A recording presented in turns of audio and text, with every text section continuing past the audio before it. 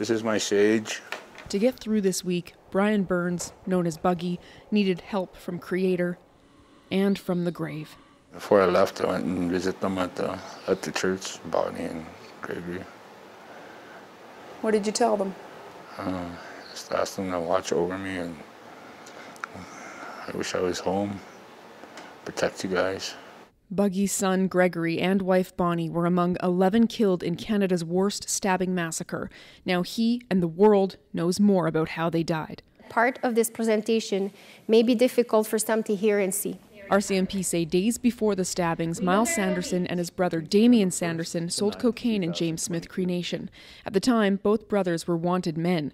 Less than 24 hours before the stabbings, RCMP came across Damien when someone called 911 saying he'd stolen a vehicle, but they didn't recognize him from an older photo, so they didn't arrest him. Hours before his murder, Damien went to a bar in another town. While at the bar, Damien told an adult female acquaintance that he and Myles, quote, have a mission to do, and that, quote, people would hear all about it in the next few hours. Damien was initially a suspect in the killings, but RCMP say he actually stopped the first attack. The brothers got into a fight after that. Damien ran off into the bush, where he died. He became the first victim of a fatal attack. Myles continued his violent rampage. He made his way to different homes by walking and stealing cars, killing and brutally assaulting as he went. He left the reserve and went to two other towns, killing a man in the process. Then he vanished lives lost and ruined in just under three hours. Nearly four days later, RCMP arrested Myles on the side of a Saskatchewan highway. Police say he shortly after went into medical distress and died. There was a lot of questions asked that probably won't be answered. Daryl Burns lost his sister in the stabbings. The addictions worker hopes RCMP can address what he says are the root causes of this violence.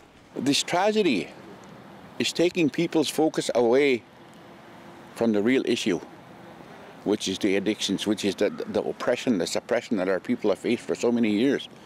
You know, we have to get back to that ability to love ourselves and to love our our children and our grandchildren and the people around us. Hoping to finally have a good night's rest.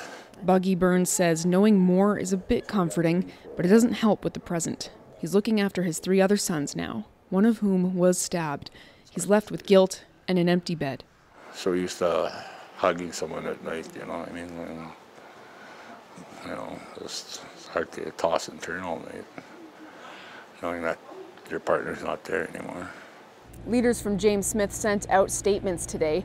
They say that the transparency from the RCMP is great, but they still need help addressing the drug trade pervading the community. The First Nation wants its own police force so that protection comes from within. Sam Samson, CBC News, Melfort.